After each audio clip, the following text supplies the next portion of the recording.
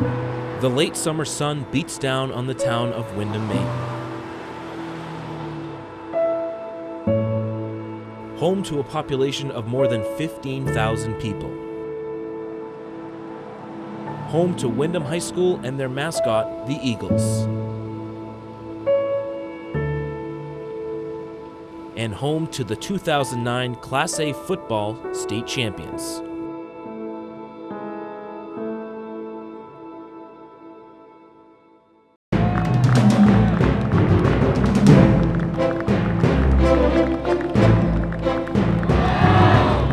Nine months after Windham lifted the gold ball at Fitzpatrick Stadium, training camp for the 2010 season begins.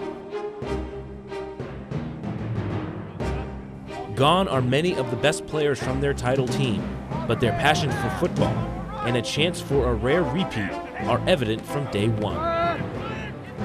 At the helm of the Windham Eagles is head coach Matt Perkins, who thinks while the Eagles graduated a lot from last year's team, there's nothing but optimism after the first few days of practices. Real excited. Um, come away feeling very good about this group. Um, we feel like we're, we're really deep. We're deeper than we've been. Um, obviously, last year we had an unbelievable team, but we didn't feel we had the depth, and we were really worried in some games going in if certain positions we got a player hurt we had a massive drop off. Now we feel like we've we've kind of raised the bar and we, are deeper than we have been. Only we're only returning three starters on offense and four on defense, so a lot of them haven't really touched the field, so they still have those I've never been on varsity scares, and uh, I don't think we really have anyone that sits back and says we're the best. We're away from that. Eight, nine, ten, eleven. Eyes up, get down there. You bench 390 pounds and you can't do a push-up? Well, first thing is to kind of see what kind of shape we're in. You know, have we been running enough? You know, we do a lot of stuff in the summer, um, but some guys haven't done very much. You know, you can tell right off the bat. Uh, so we want to see what kind of shape we're in, and then how are we going to hustle? You know, are we a fast team? You know, how did that lifting in the offseason pay off? Are we more physical? How, how can we move around? You know, how is our movement? Uh, all those little things, you know, especially on the defensive side. Offensive side, mentally, did they get the stuff we did in the offseason? Are they picking up our stuff? Are they understanding what's going on?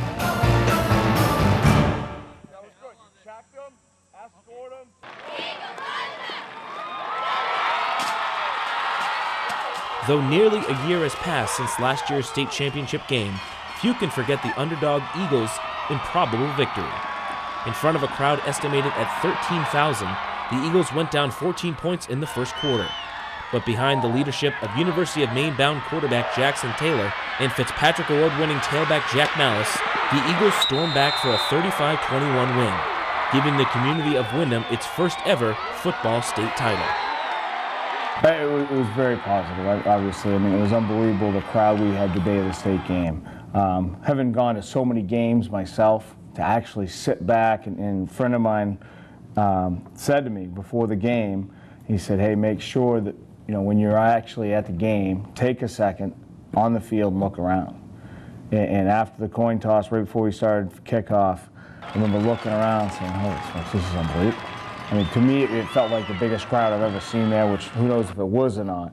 But I was so impressed how many Windham people were on both sides and all the way around the fence. And uh, it's really cool to think that how far we've come in 11 years, you know, from when Kevin Millington was a head coach and they had three years of developmental and then now, and to have him and Phil Rossetti who started this program, that we're all kind of in this together and, and the staff we have now to where we are now and the community is kind of gathered around these guys and it's, it's really been a cool thing. First couple weeks after it happened, I think it took a while for it to set in. And you know, then you know, all of a sudden we get these congratulations, and everyone's putting signs up, and uh, it was a big deal. Everyone was really happy. But I think what people need to realize is that you know, last year was last year, and I mean, if we can't come out this year and get it done, then what's last year, you know? So uh, it was it was a big excitement. It was a real good experience, but we just gotta look forward to this year. So. As training camp continues, Perkins has his young and inexperienced team focused on fundamentals. Hands in the holster. Sink more, TD.